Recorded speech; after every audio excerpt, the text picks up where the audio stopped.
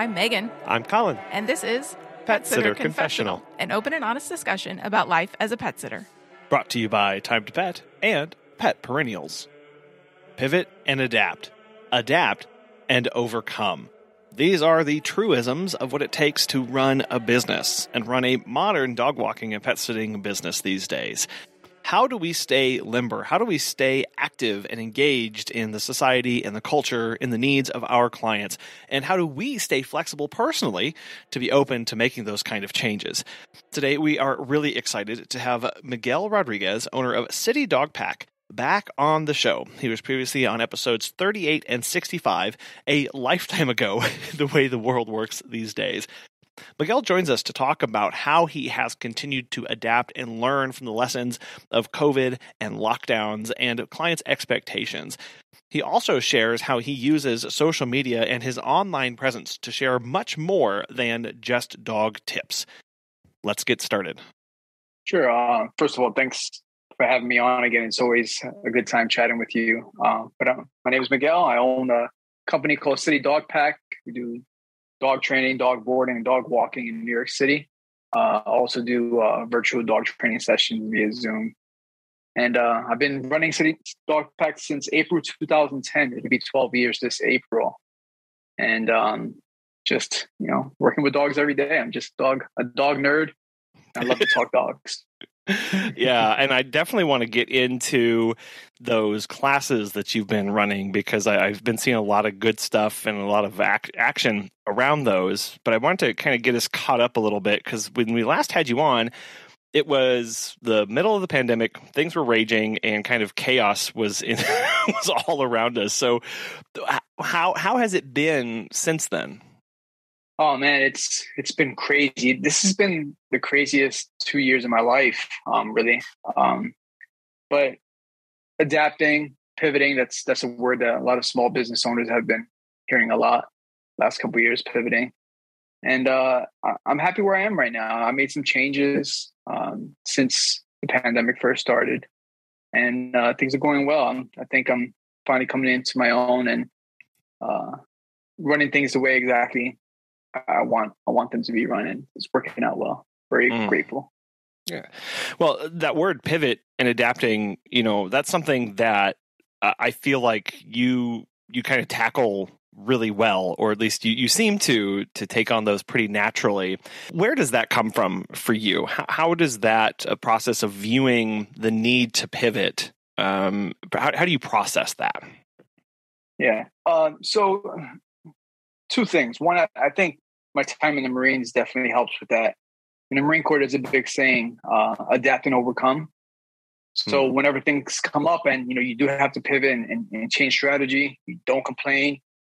You just put your head down, you work, and you just get through it.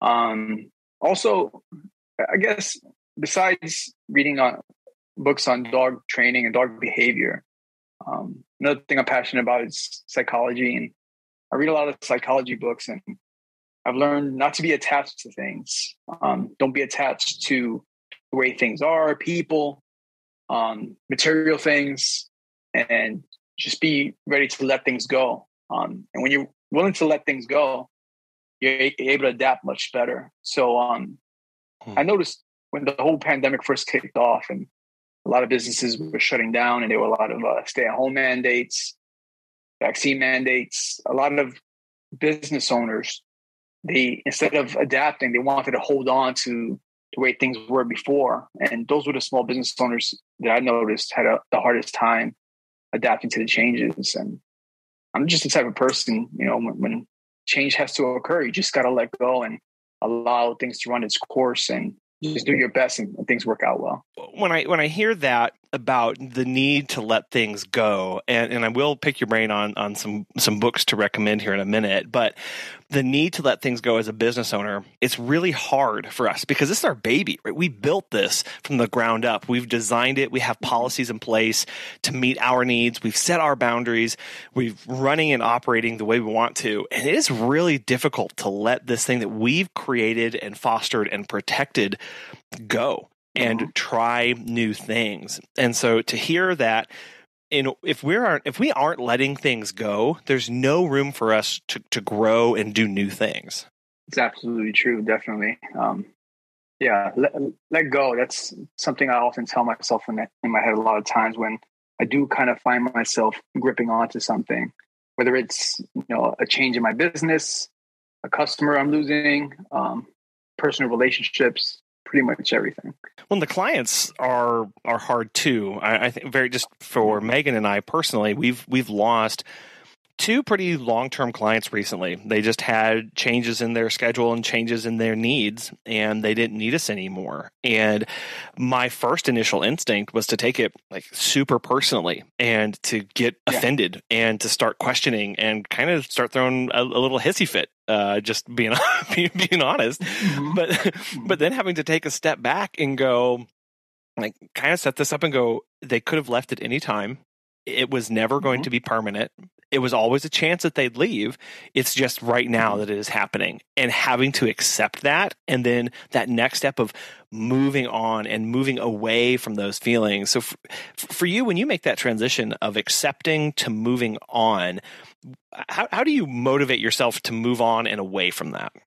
I, I've always found that in life, especially with my business, whenever something occurred that required me to make a major change that caused me to have some anxiety or sadness, if I just allowed it to occur, the change to occur, and make adjustments, things always end up better on the other side.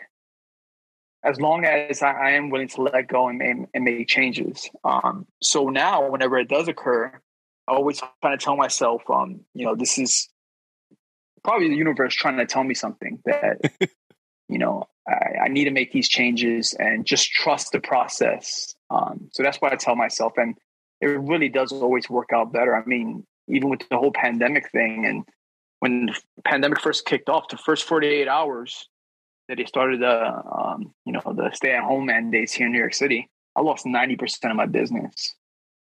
And it, it was very scary. I just bought a house.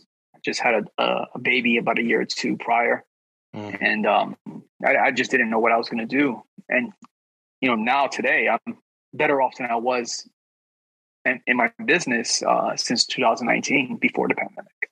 Wow.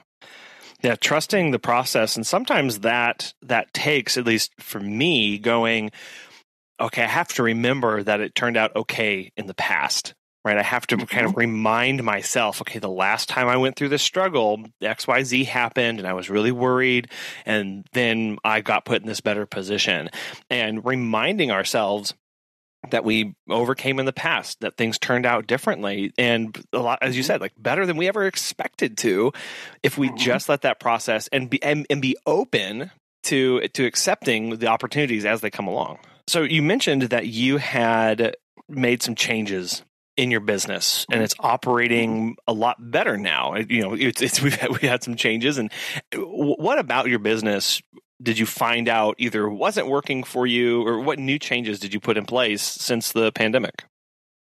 Yes so the major change that i've made was uh, not managing such a large staff that i was prior to the pandemic.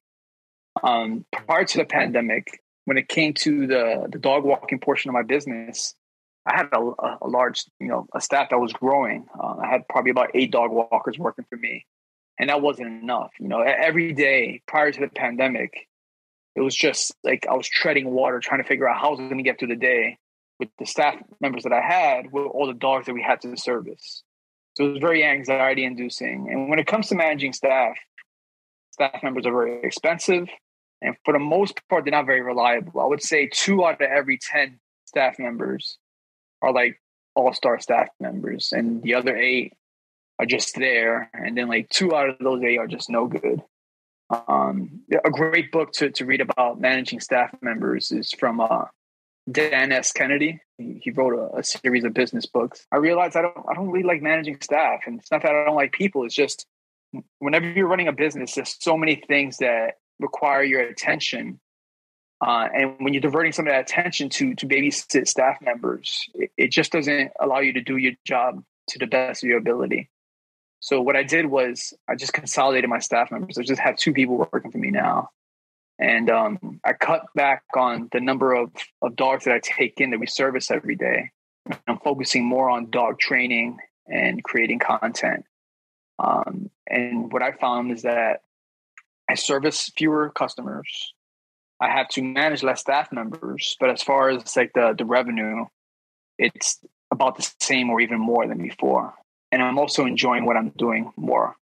Um, I, I've learned when it comes to business, there's so many things that you, you know you have to think about the actual uh, service that you provide or you know the good that you provide for your customers you have to think about all the administrative stuff you have to think about marketing and what i've learned is that if you don't you're not going to like every part of the business you're not going to like to do every part of it so whatever you don't like to do you delegate and just double down on the things you enjoy doing because if you don't enjoy doing it no matter how disciplined you are you're not going to be very good at it for example the bookkeeping which I absolutely despise.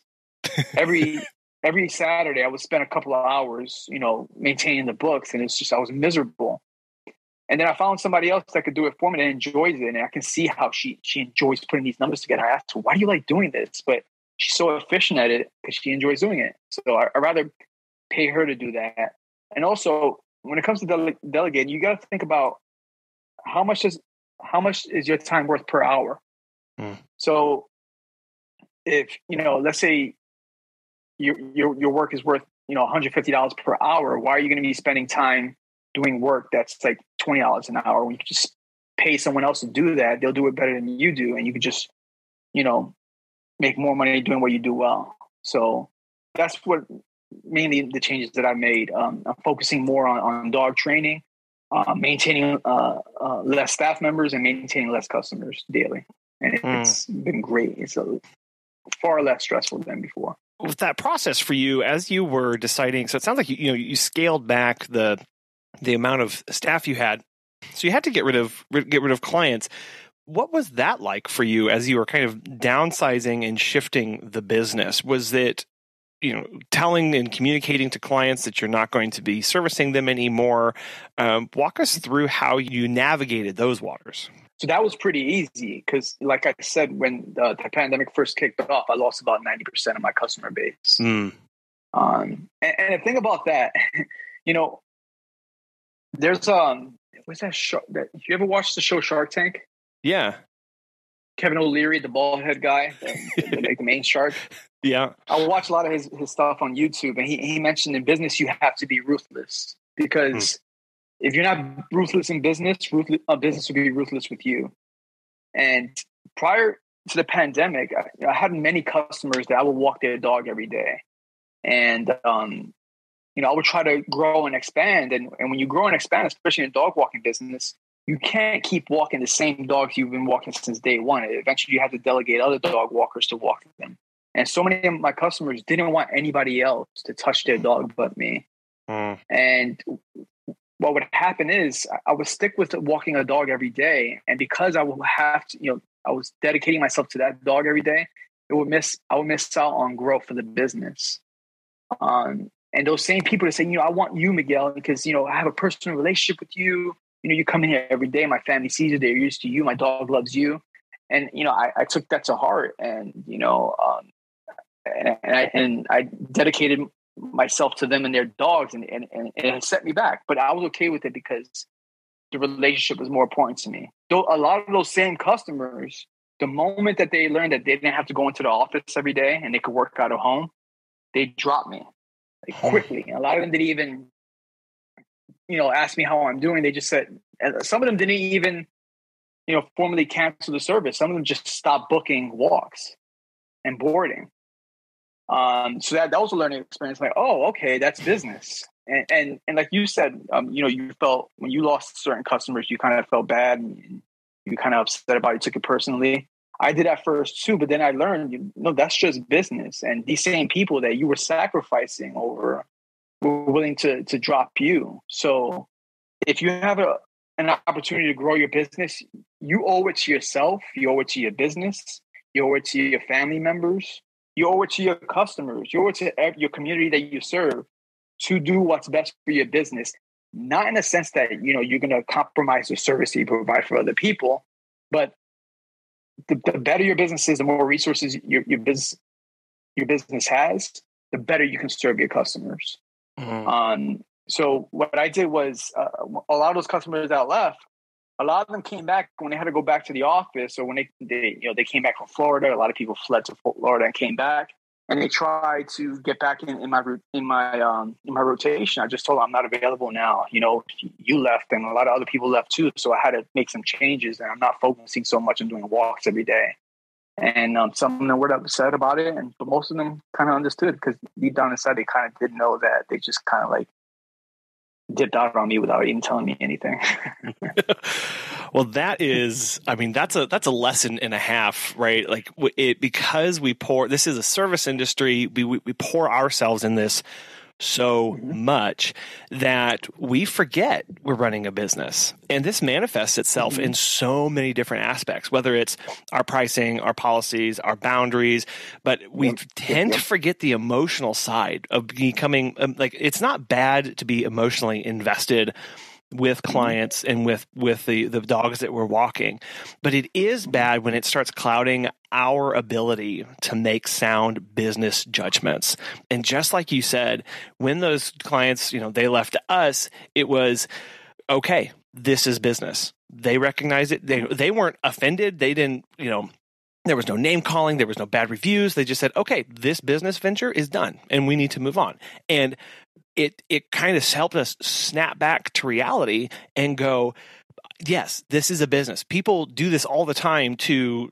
uh, you know their their their hairstylist to the people that you know for the uh, the car repairs to the plumbers to the, mm-hmm. they they just need a service sometimes and that's hard a lot of time for for us to accept uh, but at the end of the day, like that's that's that is that. And if we and if we don't view that, just like you said, we stop being able to make those ruthless decisions that we have to make in business sometimes. And it's, it's it's difficult to make those decisions, but the more practice and the more you actually apply it, the easier it becomes. And you know, you mentioned there is that emotional aspect, no doubt. I mean, when you're taking care of a dog very often, whether you're boarding the dog, training the dog, or walking the dog, you're gonna get an attachment with the dog. And and I do. I, I love these dogs that, that, I take care of. Like really, I, I, think about them all the time when they're not feeling well, they're injured, and even if they're not under my care at that particular moment, I think about them. And also the, the, the families. I mean, a lot of these families, you know, I've been doing this for 12 years. I, have watched them grow. Like, for example, I'll have a, cu- a young couple who uh, you know got a new puppy and wants me to walk their dog every day. And I come to their apartment every day. I see them. I say hi to them. And then I'm there when they have children, when they get married, and then you know I, hmm. I, I watch their children grow up. That emotional aspect is going to be there, and I, I'm okay with that. But when it comes time to making a business decision, a business change, you have to do that and, and, and communicate with these customers. Explain to look, you know, I care about you. You know, we're still, if you ever need me for anything, you have my phone number. You can always give me a call. If you ever want to talk to me about anything, just give me, I'm still available to you. I'm just not going to be there every single day to walk your dog because I'm not just a dog walker. I'm not just a dog trainer and I'm not just a pet sitter. I'm a business owner. Um, so, you know, it, my, my attention is required in other areas. And for me to keep servicing you and your dog and your family, you have to allow me to do these things. You have to trust me to provide you with another person that's going to provide the service in, in my behalf. They, they're, they're, a representative of me. You have to trust that. Well, and as you said, in order to continue to provide a good quality service and do the best you can, you have to put the business first. Because if the business doesn't, and the reason is, is because if your business doesn't exist, you're not doing any service to anybody right and and so that's where this this this understanding of what's my purpose and how do I get there and how do I continue to doing this. And that sometimes means letting clients go or changing your services or raising prices, which is a big t- topic of discussion these days. And knowing that this will all help me, these decisions are all helping me run a better business so that I can actually continue to provide service because that's, we, we want, that's what we want to be doing is providing the services that we are. It's just, we have to make good sound decisions to get us there. Have you heard of Time to Pet? Claire from Acton Critter Sitters has this to say. Time to Pet has honestly revolutionized how we do business.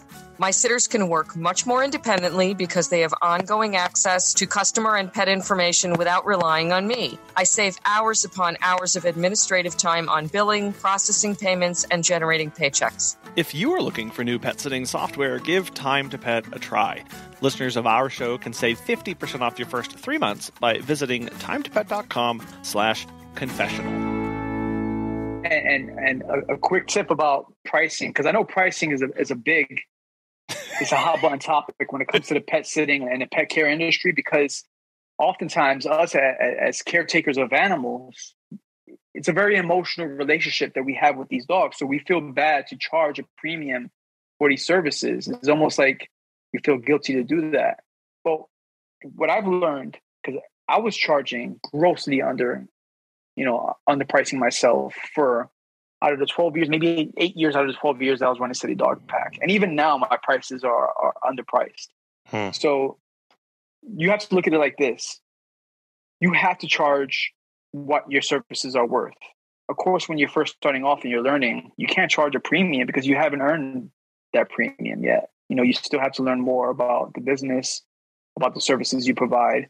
So, you know, sometimes I see these brand new, you know, these brand new pet sitters just come out of nowhere and they're charging, you know, double what I charge, which is crazy. But anyway, so you you have to charge an appropriate amount.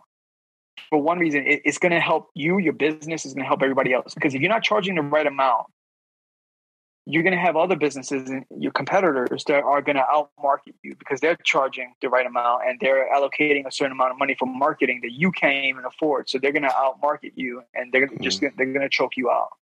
Uh, and another thing is when you're not charging the right amount, you have to make a certain amount of revenue to break even and to make a profit. So if you're not charging the right amount, you're cramming in a lot more customers. And when you cram in so many customers and you're overworking your staff, your service, the quality of your service declines.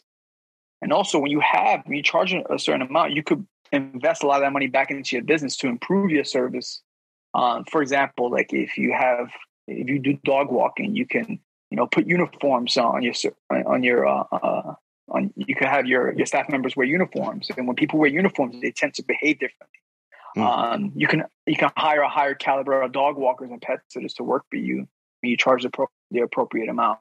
And if you have customers that complain, I find every time I raise cust- I raise prices, um, there's always that 10% of customers that do complain. And the way you manage that is know your numbers, have everything written down. How much does it cost you to provide the service? What's all your overhead? And how much money do you need to make to break even? And then, so whenever I have a customer that complains, all I do, I have everything ready, written down look, this is how much money I make per profit I make per per walk, whether it's another dog walker doing it or I'm doing it myself. And also, I, sh- I show them a list of uh, competitors in the neighborhood in the area that and what they charge, and I compare my price with theirs, and I give them a full breakdown of my prices. And they had when I show them that, they had nothing to say, hmm. and then they have the decision: you can you can have me and pay me this amount, or you can go with someone else. It's up to you. Well, I love how you touched on, and I think this is so important in the fact that when we charge enough in our business, we can uh, it, it, does things right our business can start doing things and too often we forget that our business is there to do things for for us for our community for our staff if we have them and for clients we and, and that only happens we are only able to do those things with that money that we have. And if we're chronically undercharging we aren't able to give gifts to our favorite clients. We aren't able to take extra trainings. We aren't able to do these things for our staff and give raises. And we become kind of impoverished in a lot of different ways. And yet, like you said, we're busy all the time because we cram our schedules full and then we're tired and we're also broke and we don't really see the point of it. And so we, the, the company folds and we go under. Instead, again, looking back at, I want my company to be here tomorrow and the next day. I want to be able to service that client year after year after year. And I do that when the nuts and bolts of it is I, I, do that by earning enough money. In order for me to show up tomorrow, I have to have the money to do that. And that's a very frank conversation that we have to have with ourselves and look at those numbers and understand what we need and how, how the business needs to operate to get that to us. Yeah, definitely. And it's not all about money. The thing is, if you don't charge the appropriate amount, uh, again, you're going to cram. Mm-hmm. And, when, and when you cram, I, I think they, they say, uh, I think 80% or 80% of small businesses die after the first year. I don't think it's because of revenue, because I've seen a lot of great small businesses, whether it's in the pet industry, the restaurant industry, that provide an outstanding service or product, and they die after about a year or two. I think it's often because they underestimate how hard they're going to have to work, and also I think they become overwhelmed. Mm-hmm. And once they become overwhelmed, they just figure, you know, this is not worth it, and they just kind of just give up. You should never be at when it comes to the pet industry, when you're doing dog boarding, walking, or training. You should never be at full capacity. You should always be at about eighty percent. You should always have that twenty percent buffer. The reason why you want to have the twenty percent buffer is because you know things come up, and you want to be available for your clients, and you're not overstressed. You're not you know running yourself ragged. And uh, it just allows you to be the best version of yourself. When you're at 100% just redlining it every day you doesn't matter how disciplined and tough you are you're just going to break down. And i think that's what happens with a lot of uh, small business owners. And that's why i think a lot of dog walking businesses and pet sitting businesses die pretty quickly. I see them come and go every year. Yeah yeah because it it is an industry that will chew you up and spit you out it, it, there's no real mercy. There's always more mm-hmm. demand. There's always more need. There's always more walks. There's always more visits. And unless we, the business owners, forcibly impose space in our lives and on our schedule, we won't have anything. Right. I know one one of the reason a lot of people look to pet sitting is they go, oh, a flexible schedule. That what a wonderful thing, right? And we those of us have been doing this for a oh, while chuckle chuckle and go, well, mm-hmm. it's not not really, but it, it is if you make it that way. It is if you give yourself that space if you're not running at 100% capacity all the time, if you say no to clients on some weekends just because you really need the weekend off and you give yourself that mm-hmm. space. That comes in in knowing, okay, I, I have to be charging appropriately, but I also have to be giving myself these boundaries and the space so that I can. So, so there's there's some of me left at the end of the day mm-hmm. to do things that I actually enjoy. It's, it's so true, and, and it's funny, you know when it comes when I'm walking my pack in New York City, I always get people stopping me in the street saying, "You have the best job in the world," or like you know, people say, "That's a great job," and it is a great job, but it's not for everyone. When it comes mm-hmm. to you know being a caretaker of dogs, is not a, is a lifestyle because you're always working. You always have dogs to take care of, and if you don't have dogs to take care of, you have to answer emails. You're just constantly working. So it, it if it's not for you, it's just not going to work out. And you know, people always tend to think that what other people do is so much easier than what they're currently doing. yeah, that's that is that is true. they have they have no idea, and that again gets to the weird mm-hmm. aspect of of what we do. There's there's this levity, there's this seriousness, there's this all consuming nature of the industry, and it's it's tough to communicate that to people. Definitely, absolutely in addition to uh, pulling back on the amount of staff, you said you moved into doing a lot more training and virtual sessions. So I, I really want to hear how that has been going for you. It's been going great. Um, as far as the training, because I was getting so busy with the walks before the pandemic. And I started off City Dog Pack as, as a dog trainer primarily. And then people started asking me to to walk and board their dogs. And then the you know that that that part of the business started to grow so rapidly that I kind of put training on the wayside. Um, but uh, now I've just been focusing a lot more training, and it's just just what I really love to do the mm-hmm. most. I love walking dogs in the pack. I love doing that. But the training part, you know, the behavior and seeing dogs transform before your eyes, and seeing these stressed out, overwhelmed dog owners who are at the brink of giving up their dog you know, turn around, become best friends with their dog. That's just so rewarding for me. And as far as the uh, the virtual sessions, it, it's great because I can service people everywhere, not just in New York, but all around the country and even different parts of the world as well.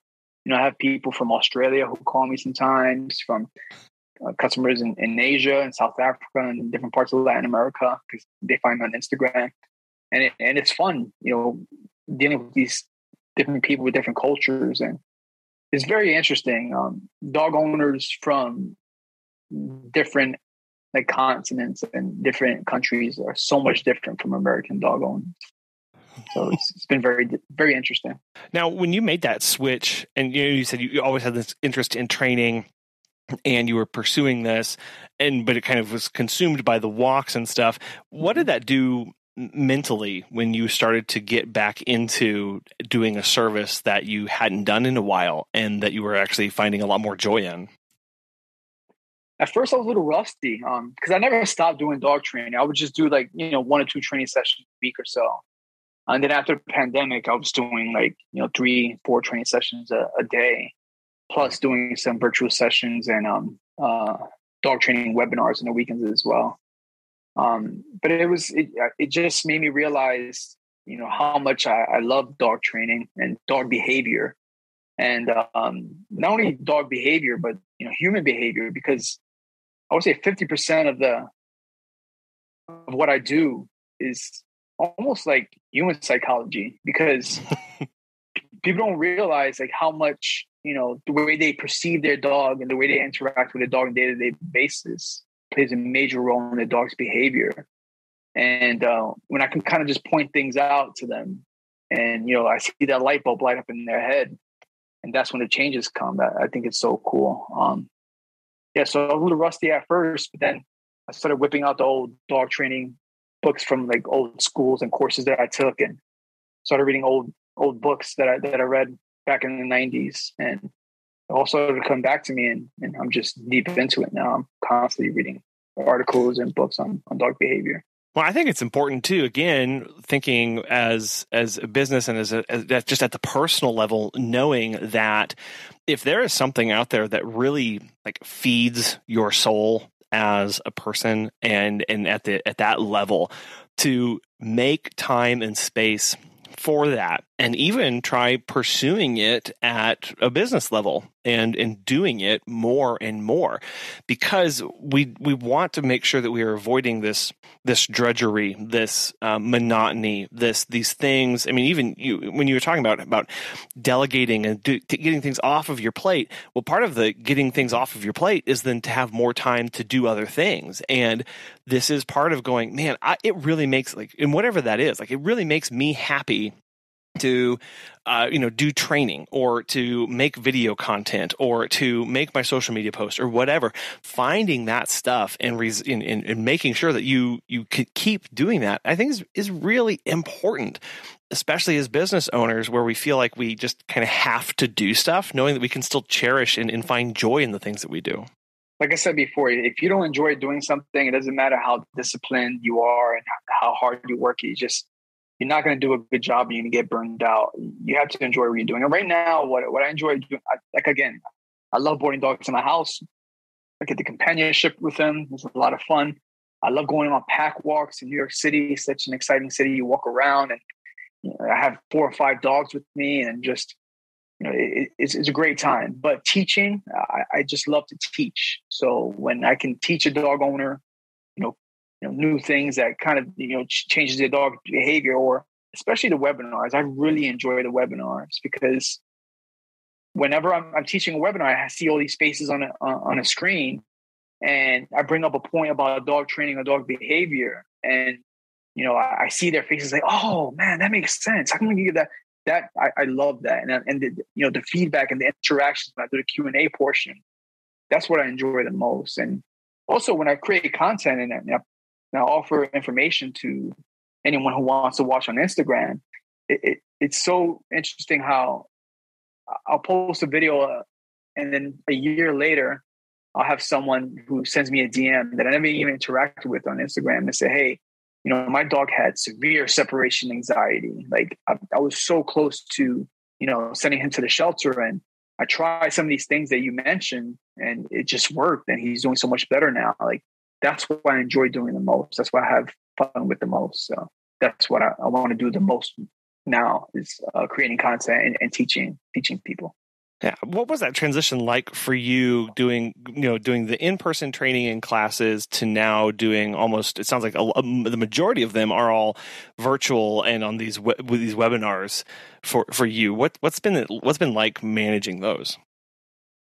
Uh, well, there's nothing that can substitute, you know, having me being present there to demonstrate things with people, but it's made me offering the online sessions and the webinars has made me uh, a lot better in my personal dog training sessions because sometimes when I'm there physically, I kind of like I'm a little bit too hands on and I don't allow the dog owner to kind of like figure things out on their own. And I'm just there doing it and they kind of depend on me too much.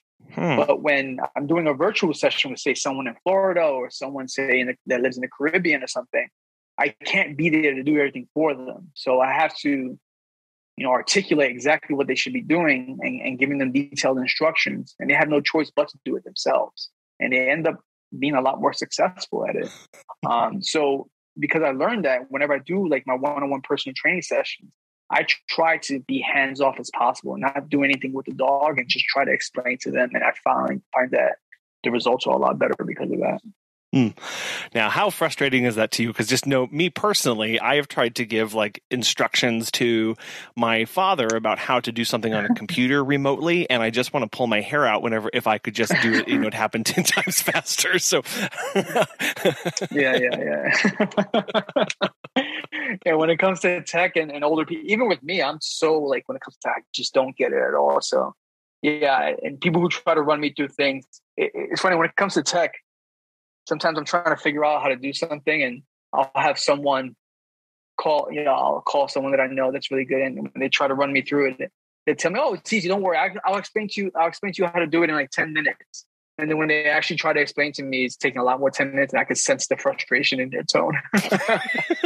but, but I, th- I think, you know, so he- hearing what you're talking about, Miguel, here, it's like, you become a lot more self-aware of how you operate in certain situations and i think mm-hmm. that is that is so important for us because uh, this stuff is just second nature to us. And and we may be in a rush or hurry so we may just grab and do and go. And instead of letting somebody come in and, and learn it themselves giving them that opportunity allowing them to have that experience i think is really important as us. And and, and i i view my role as a pet sitter a dog walker as as an educator for clients. Like well, I'm, I'm here to mm-hmm. help them live an amazing life with their mm-hmm. pet. That means teaching yeah. them and allowing them and giving them space in a safe area to learn and expand and ask questions. And if I'm constantly you know answering the questions before they can have a time to think about it or just showing them right away or not giving a time for them to kind of take in this information I, th- there's not as much uh, learning going on in that interaction as we may think definitely and you mentioned something that just uh this just reminded me of something you mentioned, like the self awareness. When, when I do these virtual training sessions, I often record them onto Zoom, and sometimes I go back and I review the session, and mm. I realized, man, I, I articulated that horribly, like, or you know, why did I say that? I should have said this instead. I was stupid.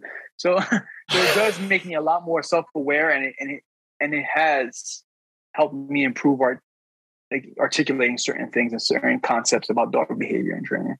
Yeah. Well, oh man, that that self review process is is a it's really painful, right? Nobody likes to. Oh man, look it's, it's gut wrenching. I, I, would imagine you being a podcaster, you probably listen to some things you said or ask, like, why did I say that? But that's that's part of the process. That's that part of the process. Hundreds of hours at this point. It's it's painful, but yeah, yeah. it's but but it's it's painful, but it's the best way to learn about yourself. And mm-hmm. I, I, just looking at us and how we operate, it's man, it seems like you know an example may be man, it seems like everybody I talk to about my services doesn't quite understand what's going on. And you could say, well, they just don't get my business. But mm-hmm. is it how you're explaining it? Are you giving good examples? Are you using the right language? There's all these things where we can start reflecting on ourselves and go, okay, well, maybe if I tried this slightly different way of, of presenting this information, it might get across better. And it's kind of an iterative process, but that makes sure that we are communicating as clearly and precisely as possible so that there's no confusion, whether that's the services or pricing or expectations or training instructions, because that, that's going to help set them up for success. That's so true. And, and, when it comes to business, sometimes, you know, you may meet business owners or other pet sitters dog walkers who are either not getting customers or um, you know if they're a dog trainer they're not getting the results that they want from from their clients and, and the dogs that they that they train and oftentimes you can hear they, they'll post on social media like these rants complaining about everybody else or you know whenever you you converse with them they talk about they're complaining about why their business isn't growing mm. and as you talk to them there's these glaring red flags that are coming up that they're just so unaware of you know but if you just kind of like you know you mentioned you know like um, these customers are not getting what I'm trying to um, explain to them about my services. And you, like you said, you can easily say it's everybody else, but you always have to look within, look within, and ask yourself: Is this something that I'm doing wrong? And when you have when you have that self awareness, you're just so much better as a business owner and as a pet sitter, as a dog walker, as a dog trainer. Very yeah. true. Yeah, and it's like I said, it's, it's it's a painful process, but it's really necessary because we want we, want our businesses to be operating at the best way possible, and we want ourselves to be as well. So that takes review and getting outside input sometimes. So bringing in trusted friends or family or acquaintances, or, or I, some of the best advice is to ask uh, to your clients about how am I doing? Did how's the yeah, onboarding process? Hard, yeah. Right, that's ugh, getting that kind it's of feedback. It's, it's it's not fun. yeah. Yeah. Some some of my clients are, are very successful entrepreneurs. Hmm. And um, sometimes they'll drop little hints, they'll drop little comments to me, trying to like, you know, tell me you should be doing this, Miguel, or you should do this better. And I kind of ignore it. And then when I eventually say, Oh, let me face and ask, what do you mean by this? And some of these, it comes to really successful entrepreneur, when it, most super successful entrepreneurs, they've been through the ringer. They they've been through like the failures, the setbacks. So once they finally get to where they are, when they become successful, and they see other entrepreneurs making the same mistakes that they made, that they've made in the past, they, can be ruthless when they tell you, you know, you need to do this better. And mm. sometimes mm. I, I I have other people like you know successful entrepreneurs hold me accountable and tell me that I should be doing better things. And even now, there's certain things that I should be doing now, I should be focusing on that I'm that I'm kind of just you know procrastinating on. And but it's a constant, you know, it's it's a constant learning process. Absolutely, and it's hard, but self awareness it's it's key. I think a lot of that starts with knowing this person is telling me this information for my own good, right? This is, and, and, I, they're, they're wanting to help me, right? And so kind of putting, again, putting away some of these, these, these feelings or these emotions of getting hurt or being offended and going, no, I, I, if I ask for this information, if I ask for feedback, and sometimes we don't ask for it, but we have to go, okay, this person is telling me because they want me to be better. And that kind of, I know at least helps me start putting some things in into action? Yeah, you know, I, I once I have a client that I've had I've had him a, as a customer for like eleven years almost, and mm-hmm. he's a super successful entrepreneur. He's in tech, and he really cares about me. But he's very straightforward with me, and and uh, he had a dog. He, he had a dog that that I walked and trained for many years, and the dog got old and passed away. And he got a new dog, and he tells me, "Hey, um, uh, I need help with you know housebreaking. My dog is, you know, peeing and pooping all over the house and he's doing this. So can you come over tomorrow at five o'clock and, and, and help me out? I'm like, sure. So I get there at 5.15. I was late. And he's like, oh, you're late. And I'm like, yeah, I'm sorry, you know, train. And he goes, yeah, but that's, that's 15 minutes. Like he goes, you know how much money I make per hour? And I'm like, no, how much? And he tells me how much. He goes, and so you're 15 minutes late. And those 15 minutes are worth more than what I'm paying you for this training session. So I shouldn't even pay you for the training session. Whoa. And I'm like, whoa, like, shut up, dude. And he goes, but I'm he goes, but I'm gonna do it anyway. And he goes, if you, you're having trouble with scheduling, maybe you should you should have a personal assistant because if you're that busy, you should you should afford a personal assistant. So having a personal assistant, the, the money you're paying them is actually going to come back twofold for you. So you might want to look into that. Very serious before the, the, training session started, and he very stone cold, just looked at me my eye and told me. And I, I could have t- taken it personally, but I just took it. I'm like, you know what? You're absolutely right. And Hmm. we just went on with the training session after that. Wow. Wow. yeah. But I, I like having people like that around me. Yeah, and you know, and he told you that because he was like, I, you know, th- this is somebody who I want to be successful and needs need you know this i just need to tell this information and learn from my experiences and start putting it into practice again the, these people who say these things yeah you could immediately sit down and go how dare you you don't know me um, i'm doing my best here but going okay right, you know, that makes a lot of sense and um, i can i can make changes right that just knowing that the, Yeah, um, yeah. that kind of feedback is is helpful Yeah. yeah. And I still haven't got a personal assistant. So next year, I, you're, you're, you're. There's been some things going on. So, yeah, definitely. Pet Perennials makes it easy as one, two, three to send a heartfelt condolence gift directly to someone with a broken heart. They have this awesome direct to client gift service that takes the effort off of us and ensures a thoughtful, personalized sympathy gift reaches our client or our employee. All gift packages include a handwritten card, colorful gift wrap, and shipping fees across the US and Canada. They also offer an array of milestone gifts and greeting cards that can be sent to celebrate birthdays, extend get well wishes, and welcome new and rescued pets.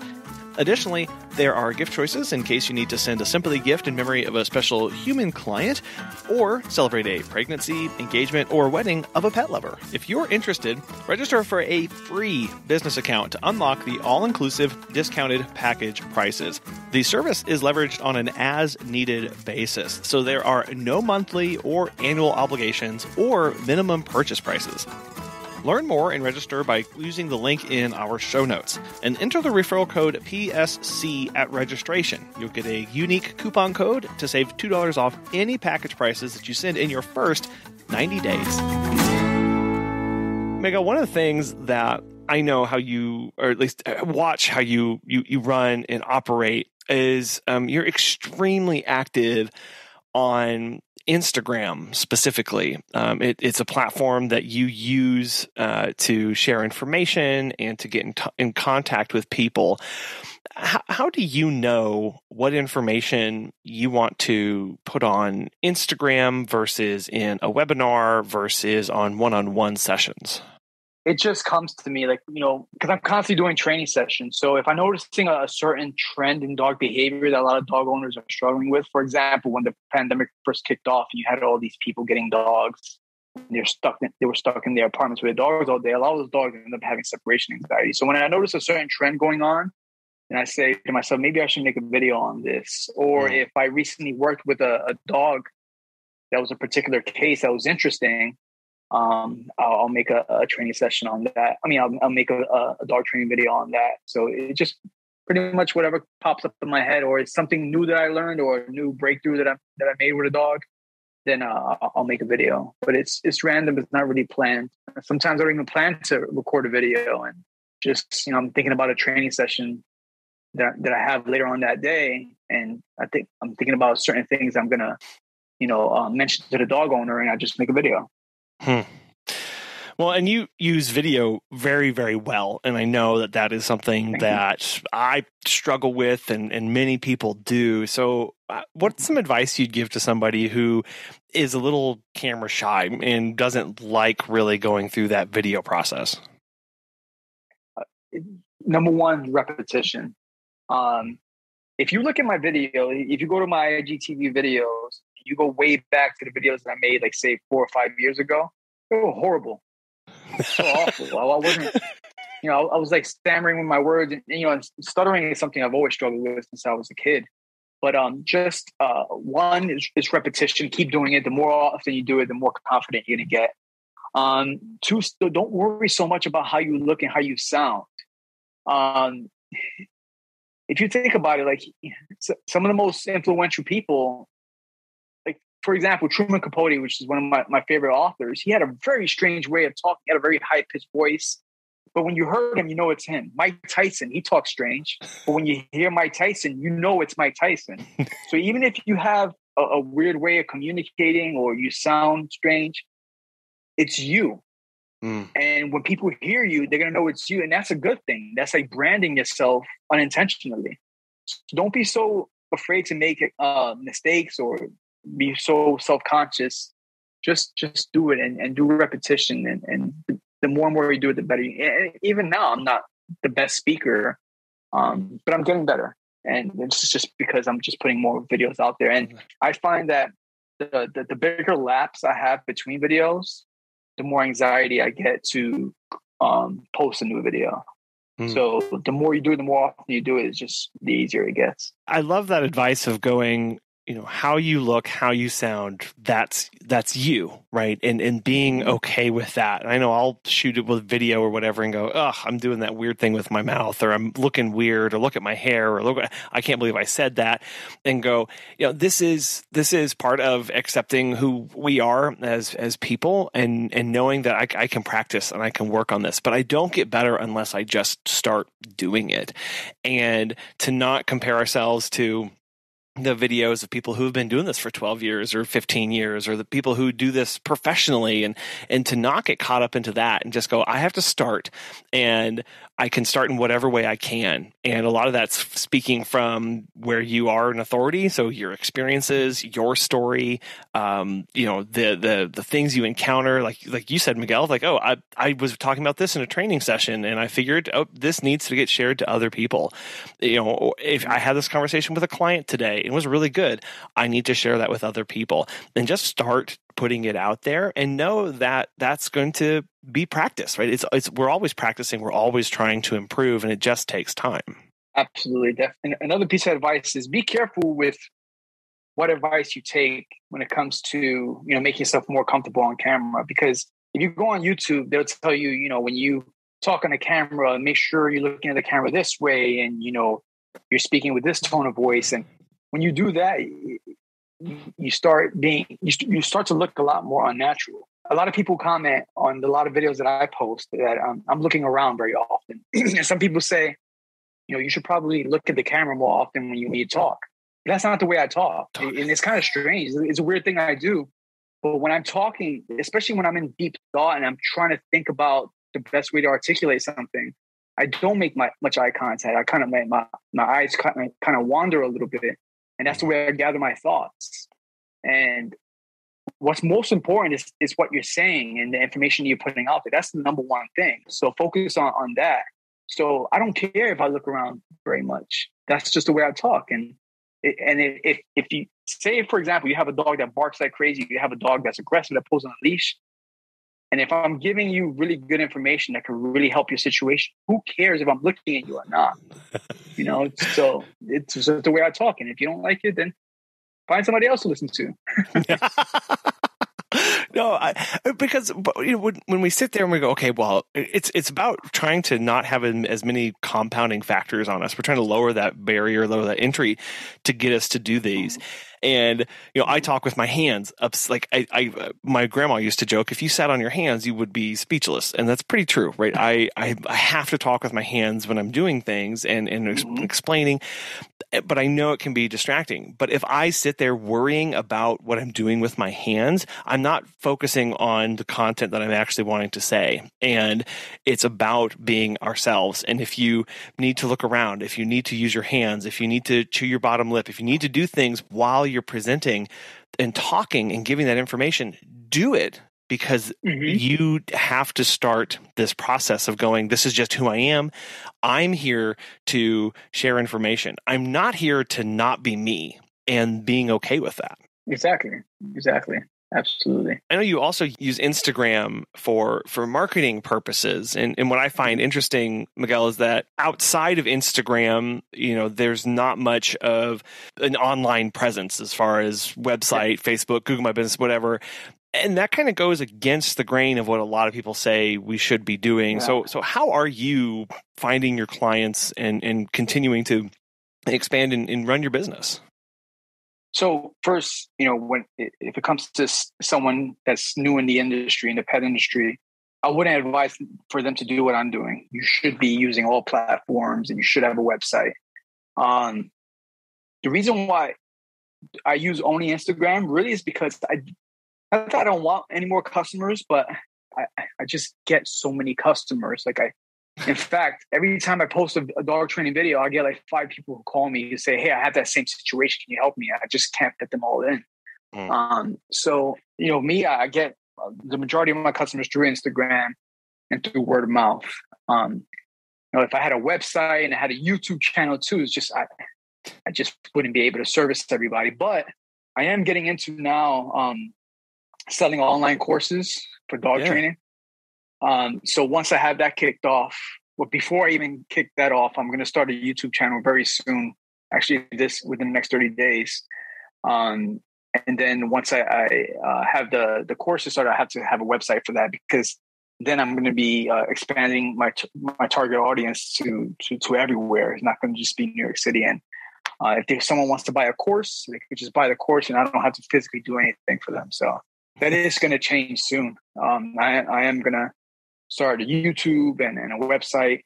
Um, and also, it's not a good idea to put all your eggs in one basket when it comes to like a social media platform because what if that platform goes away, or especially now in today's climate where you know censorship seems to be like a big thing you may say the wrong thing or do the wrong thing and a platform may drop you. So you should always have your own thing as well. And you know in, in our industry dependent industry we're not saying anything controversial but you never know like what if you know instagram just decides not to have you on the platform anymore or if you have a or if you're only using YouTube, and what if YouTube says, you know, we want to deplatform you? We don't want we don't want you to have you on you on YouTube, but you got to have a website. So that that is changing.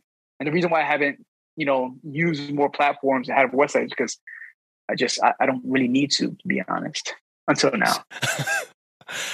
yeah, and I think understanding the, the, the market that you're trying to go after and the clients that you're going after and going where are they and how do I talk to them? And for you, that was well, they're on Instagram, so I'm going to talk to them on Instagram, and that's what I need yeah. to do. And and that takes understanding the platform, how you want to use it, and if your clients are there, go go get them right, and not feel the mm-hmm. need to to, to, to be everywhere because that is a draining. But no, okay, I, I just have to understand who I'm trying to talk to. Exactly. And I spend quite a bit of time on Instagram, but if I'm also on TikTok, I'm also on Facebook, and I'm also on, on YouTube, then there's only 24 hours in a day. If I'm putting that time and energy into those things, then I'm not putting my time and energy into something else. So you have to allocate allocate your your your resources properly. Um, but again, I am pivoting now to uh, online courses, so that's going to have to change, and I'm going to have to start on YouTube because, especially when it comes to the long form videos that that I post, like the IGTV videos that are over a minute long, Instagram is horrible at exposing my videos. When hmm. I first started posting IGTV videos, I used to get about a few thousand um, views on each video without me promoting the video or anything, just and without me even putting hashtags. Now I, I have over 18,000 followers. When I post an IGTV video, I get about 500 views. So I, Instagram is just horrible at, at, putting out the videos. They are good at post reels. I, I, find you get a lot more likes and a lot more views, um, and you know pictures and, and short videos as well. But when it comes to IGTV videos, they're horrible at exposing. And a lot of times, I have people who follow me every day and and they like and comment my stuff every day and they'll ask me a question about dog training. I'll say, I just posted a video, an IGT video on that a couple days ago. And they said, really? I didn't see it. Hmm. So that's why I, I'm, from now on, I'm going to start uh, those long form videos that I post on, I usually post on IGTV. I'm going to switch over to YouTube now. Miguel, when I hear you talk a lot about your your planning and your your pivoting here, a word does keep coming to to mind uh, is execution, and and you seem to be really adept at executing a process and a plan once you get set on it. Is that come naturally and, and easy to you, or or how have you developed this this mindset of of sticking to something once you've planned it? Yeah. So um, again, my time in the Marines definitely uh, helped shape you know that discipline. Um, you know, it's like you, have a mission, and once you have a mission, you that's your sole purpose in life, and you just have to do it. And you know, whatever roadblocks you know come across, you just got to you know push right through them. But you know what I've learned also is that if again, if you don't like it, you're not excited about it, you're not going to do it well, you're not going to follow through. So whenever I am, you know, uh, uh, starting a, a, new venture or trying to execute a new plan, I have to make sure that I'm excited about it and mm. I, I want to do it. If not, I'm just not going to bother doing it. In fact, I've turned down. I don't even tell a lot of people this, but I've turned down a lot of opportunities um, to collaborate with different companies and different sponsors because I just wasn't excited about it and I just didn't want to do it. Like sometimes I have people who contact me and say, "Hey, you know, I have this product," um, or like a, a, dog food company will contact me and say, "Hey, you know, I want you to make some videos for us." I'm like, "Sure, great, I'm excited." But then when they give me the details, I want you to say this and I want you to do that. I want you to do that. I'm like, no, I want to do it the way I want to do it. And hmm. you know, or they expect me to um, kind of for example, I'm, you know, I'm not going to say what, like, uh, it's a cable, um, animal, like dog training, pet care, uh, channel on cable. And, um, they wanted me to do something with them, uh, where I don't want to get into details because they're going to know I'm talking about them. but, uh, sure. they just want, yeah, they just wanted me to, um, to kind of like be, more animated and, and, you know, be more Disney-fied kind of and mm. that's not who I am. You know, I, I, have a sense of humor, I like to joke around and stuff, but they kind of want to be like, "Hi, I'm Miguel Rodriguez." I mean, I'm just uh, that's not. The, I, I, got the sense that that's how they wanted me to be, and I, I just I just imagined myself being on camera and people see me behave that way on camera, but when mm. they know that that's not nothing how I am in person, sure. I, I just can't live with myself being that way. So I just you know I just didn't. I turned it down um, because I do know some people on TV that I've seen on per, in person. They're completely different. I just I just can't do that. Um, but yeah, so I have to be. You have to be excited about it. You have to to want to do it. Um, so yeah, that, that that's the key. That and, and discipline. Yeah, that excitement that comes into it is that again looking at this and going. I, again, I, we, are our own business owners. We're, we're we're growing this. We're doing this. We don't we don't technically have have to do anything, right? We get to do, we want to do these things and making sure we always bring that aspect into it when we're looking at opportunities and going, sure, I can do this. I can do anything I want to, but do I want to? Is that is that something that is actually going to fill me and bring me joy or, or get me closer to my goals and be true to myself. Uh, and at that, at the end of the day, is is the ultimate question for us. Is this new service going to get me there? Is this new client going to get me there? Is this new opportunity going to get me there? If not, we don't have to say yes to it. And we can feel backed into a corner many times because we don't want to lose out on it. We don't want to lose out on the money. We, we got to take mm-hmm. advantage of this because what else, what else, what else? But knowing, again, like we started off with saying, sometimes we have to let things go and know it's going to work out better in the end. So very true. Very true. Here in closing, one of the, my big takeaways from our previous several talks was was when you would talk about never stop learning, and then you you added mm-hmm. even if it's from people that you don't agree with. And I have I've really taken that quote to heart and have continued to to look at stuff. And so you know, you being a, a, big reader and, and always after new stuff, what are some new resources or what are some things that you're reading right now that really excite you or have really helped you that you'd love for more people to know about? The business side, I, I would recommend all of uh, uh, Dan Kennedy's books.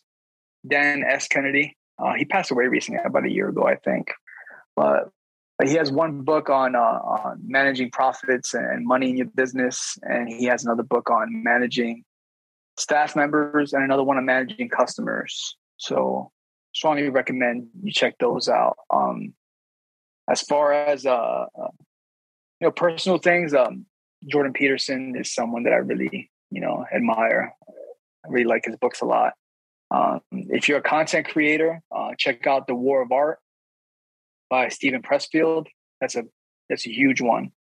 Um, also, uh, uh this book is just it's incredible. And if you own a business or if you work with people, you just have to read this book. It's um, How to Win Friends and Influence People by um, Dale Carnegie.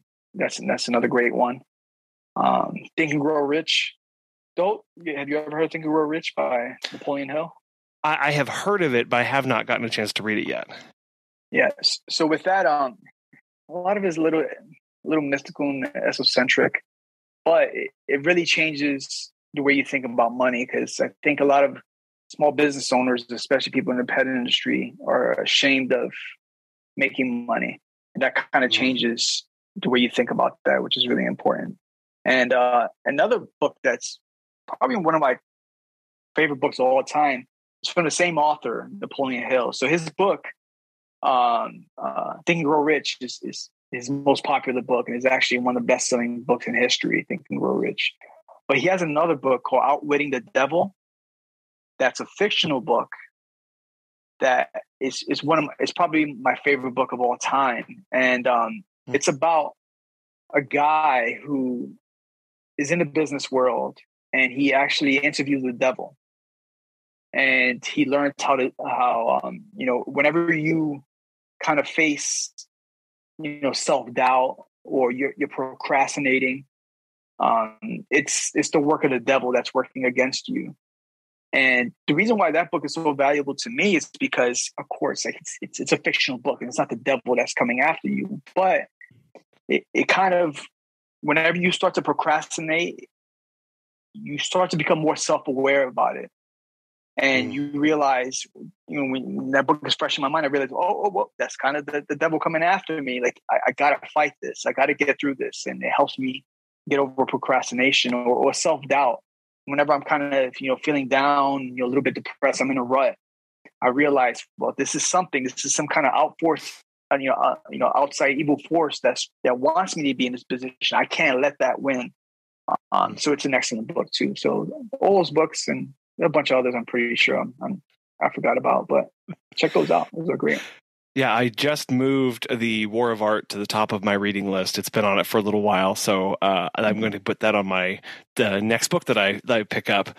Um, and but I, I like the um, that concept that you mentioned about outwitting the devil of recognizing like okay it might not be the literal devil but these thoughts these um in these beliefs that we have about ourselves um they, they bring negative impacts to our lives because we we don't take um you know we don't believe in ourselves. We we don't take those opportunities that we need to. There's self-doubt creeps in all of these these fears and anxieties that can prevent us from running that business running the way the life that we want to live, um, those are things that are trying to hold us back from that. And so I, I love how just being aware of those enough to say, ah, nope, this is that thing. I got to move away. That that is huge in us as we're moving and operating and, and really making decisions from day to day.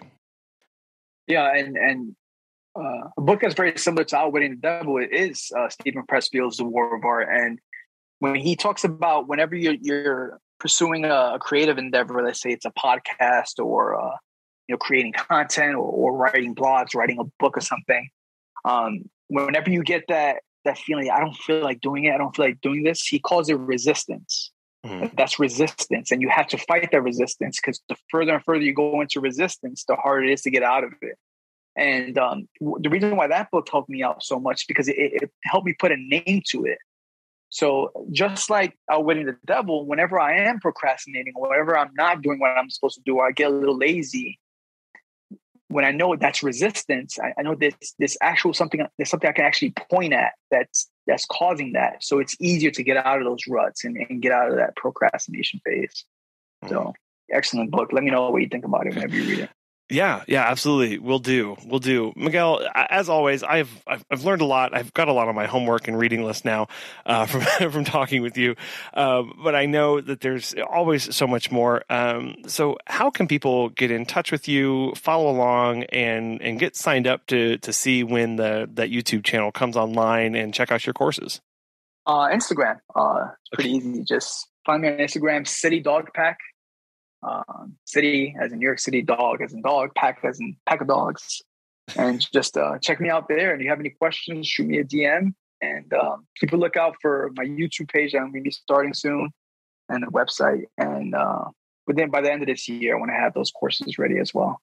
Perfect. A lot of exciting things going on, Miguel. Um, super excited for all that, and uh, can't wait to to have you back on again a lot sooner than um, 200 some odd episodes since last time. So uh, we'll we'll be better at that. So thank you so Thanks. much, Miguel. I really appreciate it. Thank you. It was a lot of fun, and I'm looking forward to our next chat. So, how do we continue to pivot and adapt, adapt and overcome as business owners? We never stop learning. We should always be seeking out new and relevant information and sometimes revisiting things that we saw quite a while ago to see if it applies to us these days reading, watching, listening, talking, conversing, building relationships with others is what helps keep us exposed and plugged into the world around us. And then we take those lessons and apply them to our business. We know our businesses better than anybody else. But we have to have the knowledge and the tools and the resources on hand to continue to adapt and change and evolve as the world does around us. We want to thank our sponsors, Time to Pet and Pet Perennials, for making today's show possible. And we really want to thank you so much for listening. We hope you have a wonderful rest of your busy week, and we'll be back again soon.